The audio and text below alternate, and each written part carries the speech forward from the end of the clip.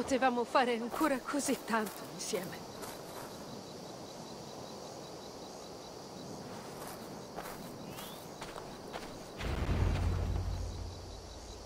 Dove?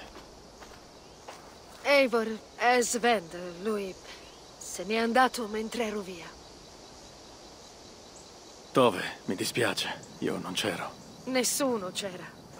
Dovevamo marchiare le botti di Tecla quella mattina e avevamo parlato di cosa avremmo fatto per cena.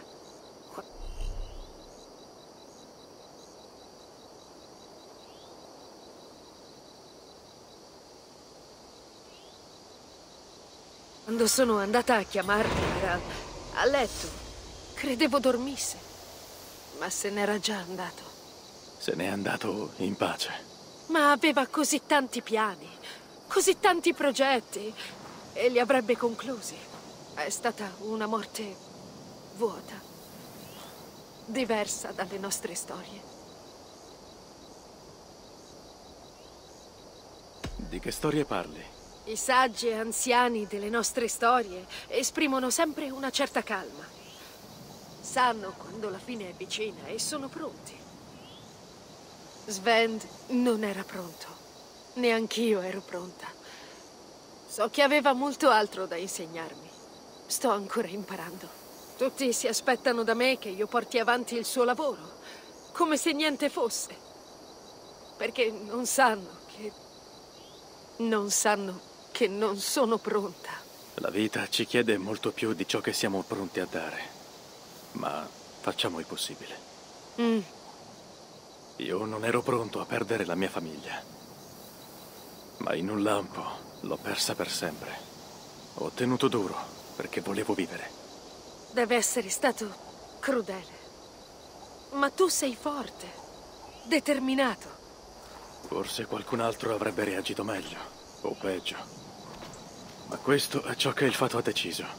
E io lo vivo. So che Svend credeva in te, nel tuo talento. E tu credevi in lui? Ti fidavi di lui? Era il più grande artista che abbia mai conosciuto. E lui ha scelto te. Puoi farti coraggio o desistere, la decisione è tua. Ma sappi che aveva fiducia in te.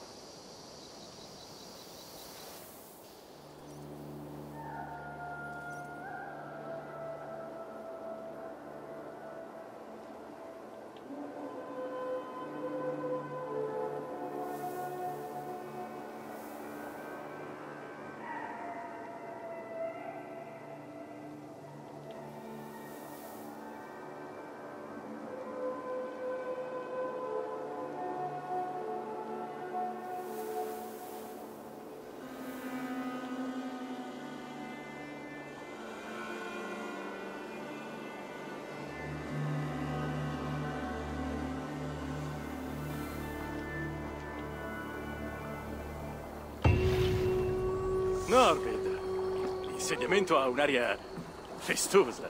La festa di Yule è arrivata. Siamo nel cuore dell'inverno, Eivor.